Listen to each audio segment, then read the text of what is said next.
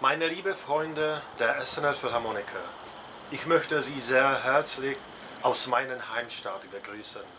Ich hoffe, Sie sind alle gesund und ich freue mich sehr, Sie bald in unserem Konzertsaal oder im Altotheater wiederzusehen.